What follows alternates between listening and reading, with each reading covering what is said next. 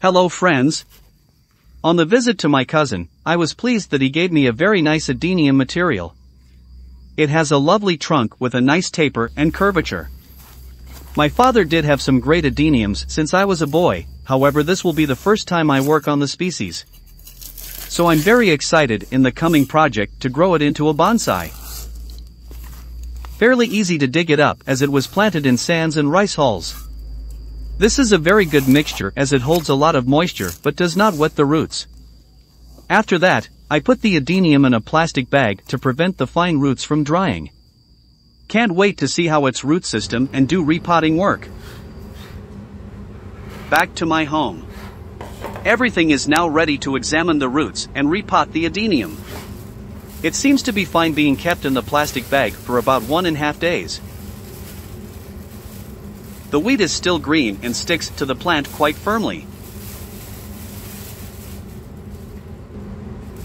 Here I have another adenium, also called desert rose, which is also a gift given to me from my aunt about one month ago, but I have done nothing on it.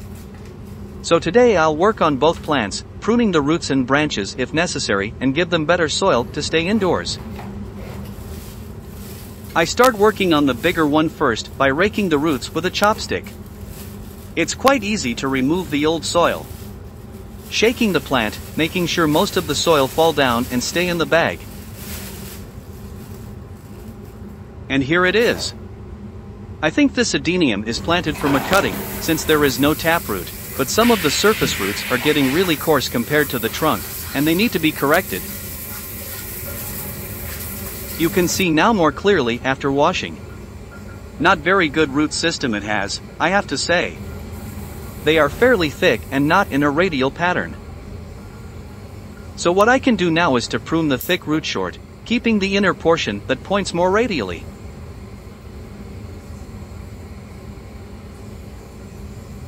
I reduce its length further as the roots sticking up too high. You may want the surface roots to be horizontal or even pointing downward a little bit, so the bonsai tree will look more natural and stay firm in the soil. Similar operation is being done on the other roots.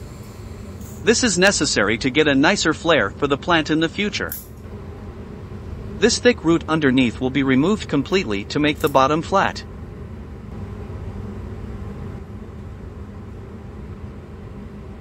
There are not very much roots left. I don't think I can do better for this time. All the major roots were not in good size and position. They kind of thickening too much and curl around. Look at what remaining, it's quite awkward that the surface roots point upward and are not evenly distributed around the trunk. I'm thinking if I remove everything and plant the adenium as a cutting to develop a new root system. It is a tough decision, but I think I will do that, which will be better for the long run. It is a severe root pruning for the first time working on adenium, but I hope it will survive. All the major roots are gone. The next step is to make the bottom better by removing the dome-shaped part down there. It will be a rough cut, causing a big wound at the bottom of the plant.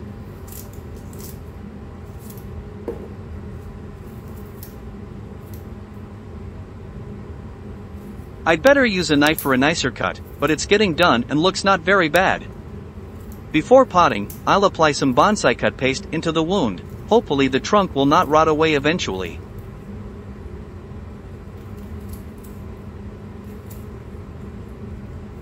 It looks better now. And next, I will put the adenium in a basin of water with some root hormone dissolved for about 20 minutes, which may encourage the new root formation, a better chance for the plant survival. The next step is to take the smaller adenium out of the pot and do the same pruning work. This one is planted in rice hull so I don't worry about breaking the roots while pulling it up. As you can see here it has a fairly amount of fine roots, which is good. The long taproot indicates that it was grown from seed.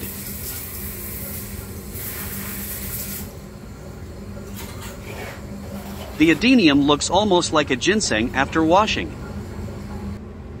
The nice thing is that it has some fine roots originating directly from the trunk, above the taproot, which can be developed into surface roots in the future.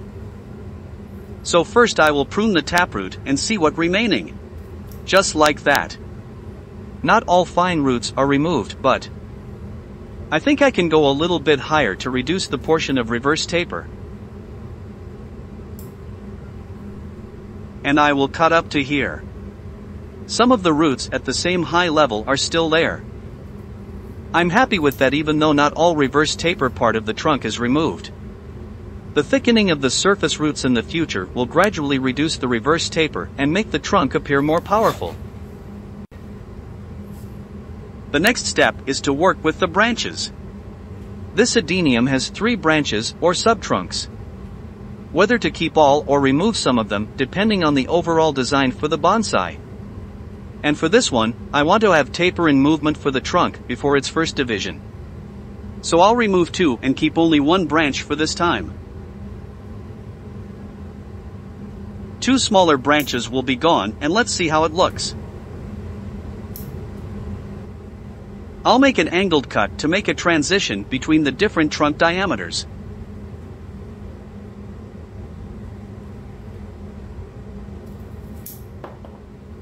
I kind of like this. The trunk line will get better as it smooths out over time.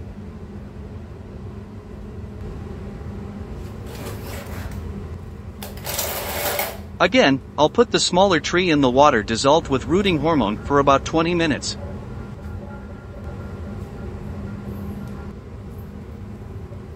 Here are what I removed from the smaller adenium, one taproot and two branches.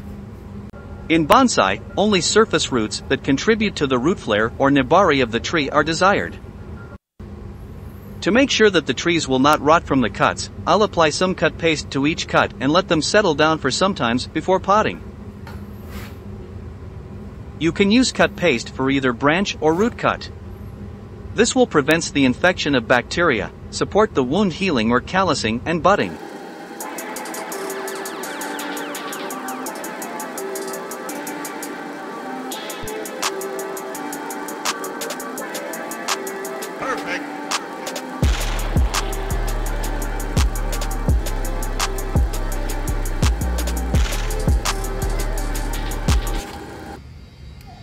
The final step after the cut paste already settled down and a bit dry is to pot the adeniums with bonsai soil. Here are the two adeniums after root and branches pruning, one still has some roots sticking to it and one without and will be pot as a cutting. I use a fairly big training pot for the larger tree, so it will have a lot of room for root growing and is developed into a medium bonsai. A layer of bonsai soil is put on top of the other with bigger particles used for drainage purpose. And I'll put the tree in at the center of the ply of the soil.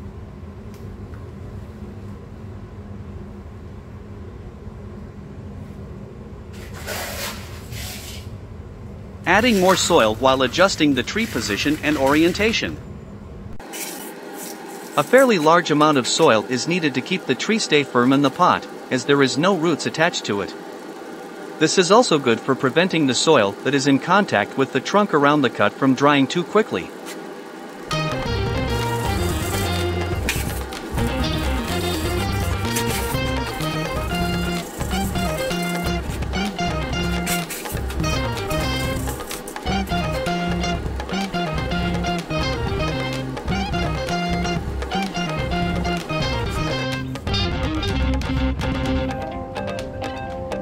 And it's time to give the tree a thorough watering with some rooting hormone added.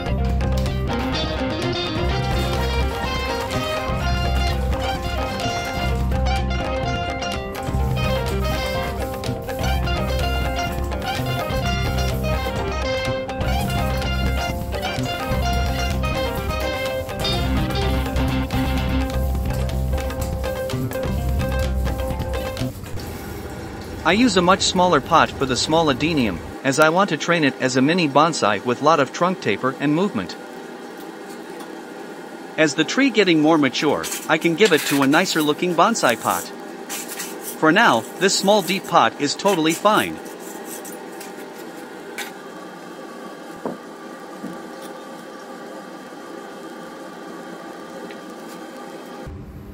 I'm trying to adjust the tree orientation to be more vertical and comb the roots to radial positions with a chopstick before adding soil to the pot and watering the tree.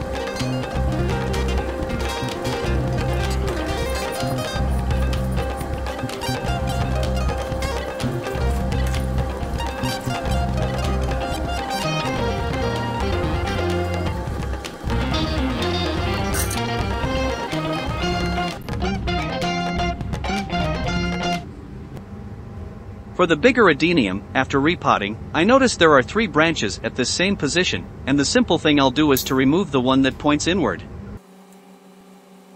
And here are the two adeniums about two weeks after repotting. The bigger one had shed off the old leaves and some new ones had grown to replace them, but nothing change observed for the smaller tree from the leaf indicator. So I hope they both survives. And that's all for today. Consider subscribe to my channel if you like the video. Thank you for your watching and I'll see you next time.